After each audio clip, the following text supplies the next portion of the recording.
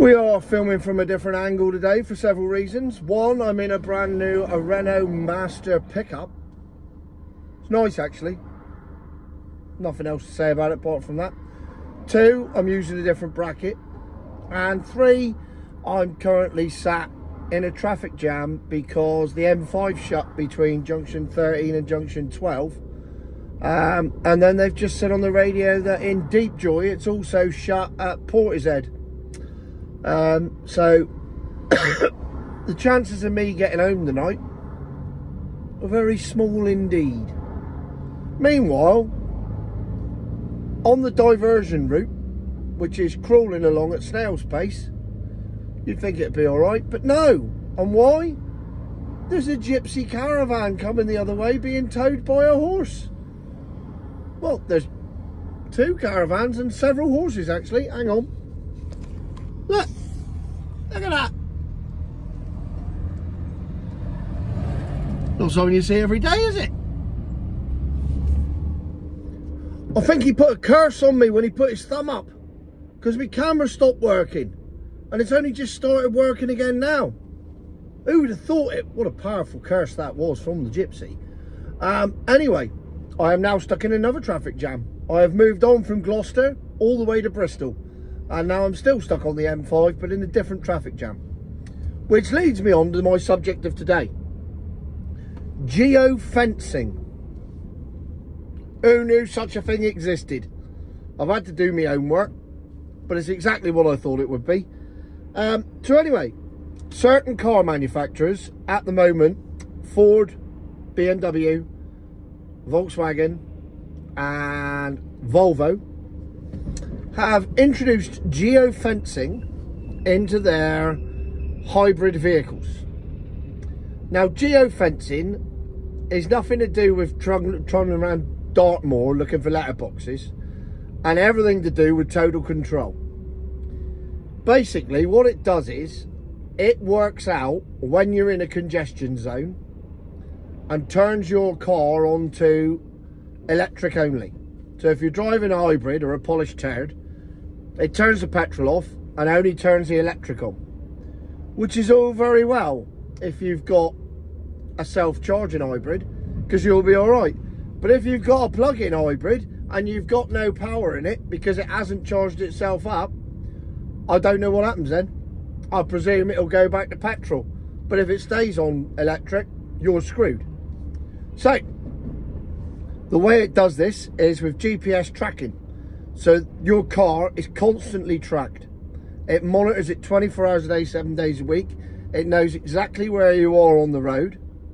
And therefore, it can then cut you in and out of electric mode so that when you're in a congestion zone, you only use the electric, you don't use the petrol, cleaner air, etc, etc. Now that bit makes sense, doesn't it? I ain't got an issue with that. There's no problem with that whatsoever. However, it's not going to stop there, is it? Because they've already said that they can use the same technology to stop people driving outside of borders. Now, those borders can be determined by anything. You can put in any parameters you want. You live in Stoke-on-Trent, it'll stop you driving in Newcastle under Lyme. I've just been there today, that's what made me think of that. Um, so the geofencing is not about saving the planet at all. It never was. None of this is about saving the planet. It's about having total control over you in your vehicle. Now, if they're putting this in polished turds, you'd automatically assume this is going into every single milk float. Probably just there as a sleeping CPU for now, ready to be activated when the time comes because they don't need to go into electric mode because they only exist in electric mode. But, so that's every milk float and every hybrid, geo-fenced.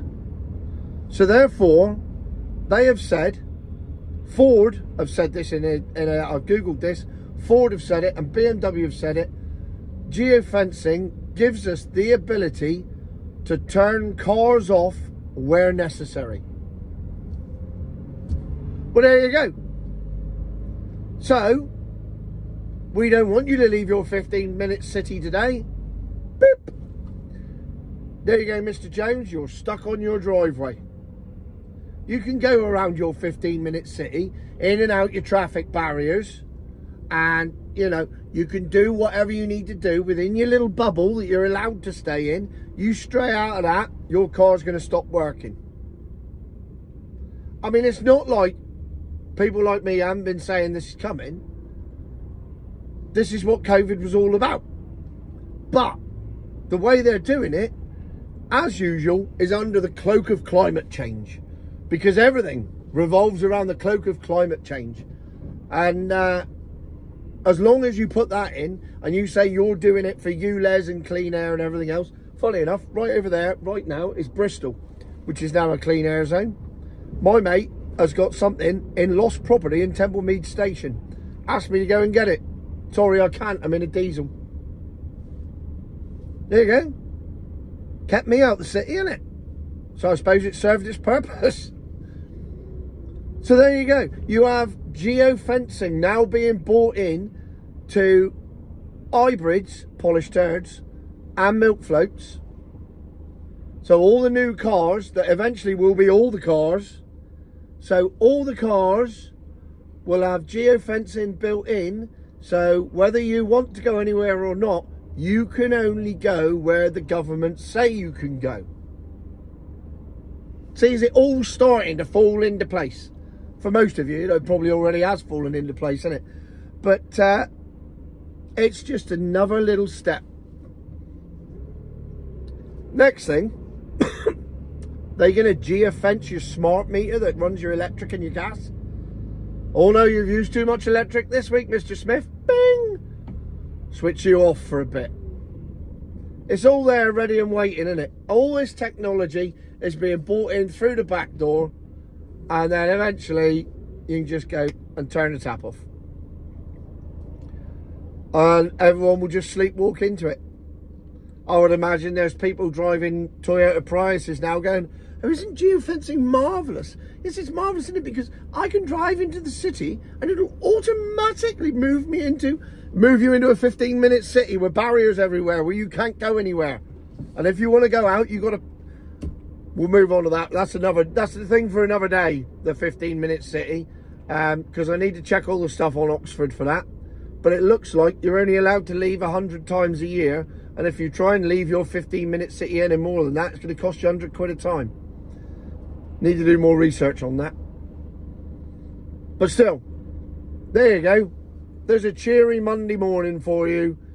Nice bit of AI being chucked into every milk float and polished turd to stop you going anywhere on the pretense that it'll save the planet which it won't do that either because no milk float's ever going to do that because they've already screwed the planet up to build it in the first place oh and here I am still stuck in traffic still 130 miles from dropping off and then another hour and a half train journey and then I still might not be home after that so I've got all that to look forward to oh it's train strikes again today too there you go. Everything glues together on it. Another thing to stop people moving. So there's train strikes, right? And I got on a train at Worcester Parkway. And because there were train strikes, there were less trains running. Now, the logic would say that if there are less trains running, you need to make those trains bigger to accommodate all the people that would be on the other trains that aren't on the other trains and are on this train instead. Ah, this is 2024 and this is Britain. So the train that turned up only had two carriages. I mean, it's just genius, isn't it? So it was uh, like catching the Bangladesh Express again. And uh, I had a lovely little uh, two foot by one foot space that my feet fitted in. My belly didn't, but you know, people just had to work around that. So yeah, there you go. Yeah, another example of stopping people moving about. And now I'm actually moving about with freedom in my diesel vehicle, except I can't because the motorways are shut in both directions at two different places on a Monday afternoon. It's just amazing, isn't it? There you go. Cheery video for you today. Anyway, Audi Q3 tomorrow. Something to look forward to, isn't it? Um, it's like the Audi Q4, but it's got a proper engine in it. So I'm looking forward to that. Right, future my arse.